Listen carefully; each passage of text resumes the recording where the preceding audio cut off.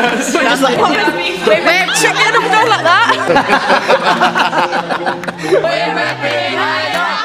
Ibiza, Ibiza, Michael, Sunny Beach, Vamos! Vamos!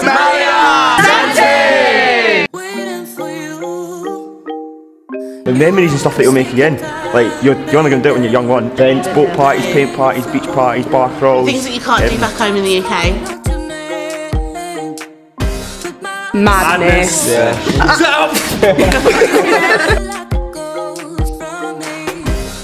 Honestly, it's the experience. It's the best job in the actual world. Like, no day's ever the same.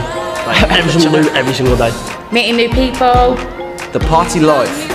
Probably getting to meet so many like uh, cool people, and you do. You, you meet obviously hundreds of people every single week, and you actually make some friends for life. Yeah, you get to spend all summer on sand and in the sun instead of being in the rain and stuff. Just party.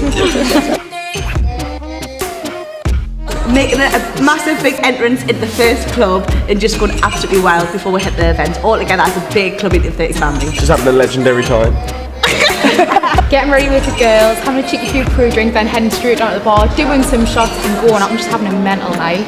Hitting a few bars. we, yeah, we go to bars 1st and then Finish off in a club. finish in a big club. Then yeah. it's greasy kebabs. uh, having a few pre-drinks at home with the boys, uh, going out, meeting a few people out that you already know as well, getting a bit boozy, uh, then getting on a dance floor, having a couple of shots, Jaeger bombs, having a good time, and then walking on with a takeaway at the end of the night.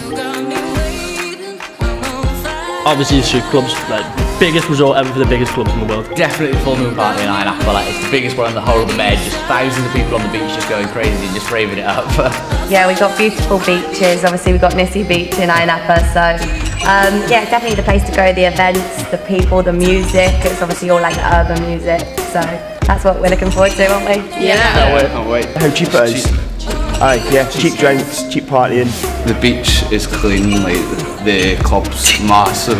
Um, Right, so Marriott is the best destination because we've got the best events going on there. We've got the biggest full moon party, the best boat parties in the whole of the Med, and we've got, of course, the best reps out there this summer. I went to Kavos last year on a holiday and I got a pineapple tattooed on there and now I've got an obsession with pineapples. Uh, you've got a pizza on your foot. Yeah, I got a few things. and we'd finished work and we ended up staying out for 36 hours.